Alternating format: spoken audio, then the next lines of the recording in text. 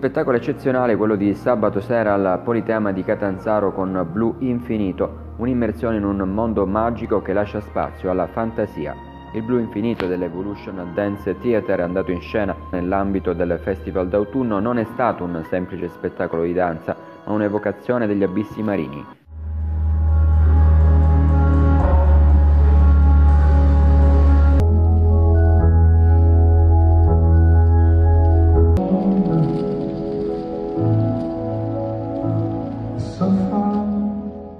In un palcoscenico buio in maniera totale i ballerini danzano fluttuando liberi nell'aria, danzando e mettendo in mostra eccellenti doti acrobatiche al servizio delle coreografie di Anthony Ainle, già componente dei Momix che sono andate al di là di ogni realtà grazie alle splendide performance di Antonella Abbate, Leonardo Tanfani, Carlotta Stassi, Matteo Crisafulli, Giulia Pino, Giovanni Santoro, Nadessia Casavecchia e lo stesso Ainle.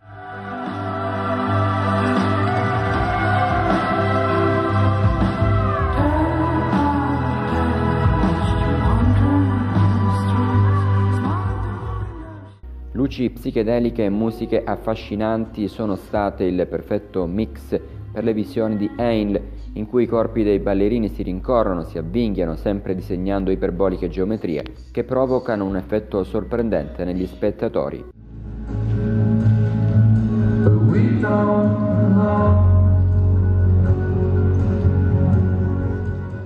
Non un tema preciso, quello immaginato da Heinle, il suo intento non è raccontare una storia ma richiamare immagini del mondo sottomarino, i suoi spazi, i suoi animali e le sue piante.